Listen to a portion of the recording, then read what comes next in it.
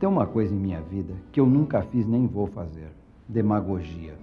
Por isso, nesses meses que eu estou à frente da prefeitura, sempre trabalhei em silêncio. Também não falei mal nem coloquei a culpa em ninguém. Agora que peço que você me dê um pouco mais de tempo, também não vou mentir, nem fazer falsas promessas. Tenho os pés no chão, mas sei muito bem para onde caminhar.